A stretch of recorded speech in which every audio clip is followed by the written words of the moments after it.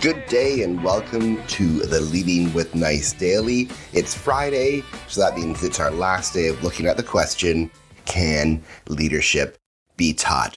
So, we looked at a study past couple of days and we have come to the conclusion that yes, leadership can be taught. We looked at how to start it when you're young. We looked at how to how to continue it into adulthood and even the formula for it.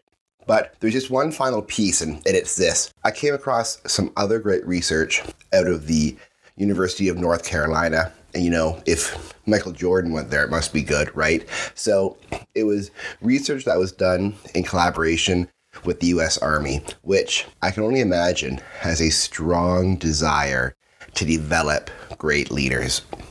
And what they found was this that the things we talked about mentoring, trial and error, coaching, all of those are so key to developing leaders.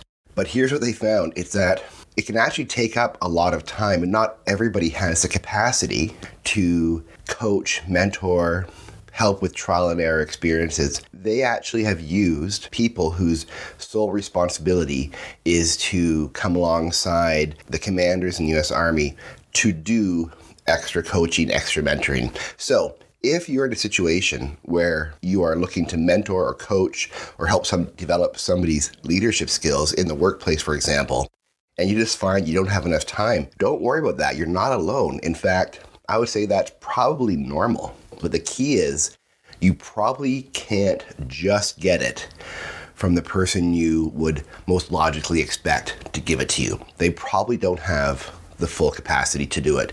And it's okay to look to supplement what you can provide for that person or to supplement what you need from somebody else in your leadership journey.